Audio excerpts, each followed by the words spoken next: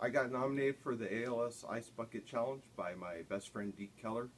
Um, I want to take this time to nominate my sister Alexa, uh, my good friend Jason Parrish, and my other good friend from college, Ray Francis.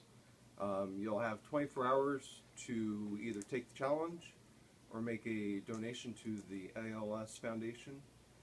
And I want to challenge the rest of my friends and family to go ahead, go to the website, educate yourself on the disease, make a small donation if you can, and really spread spread the word about the disease itself. And with that, here we go.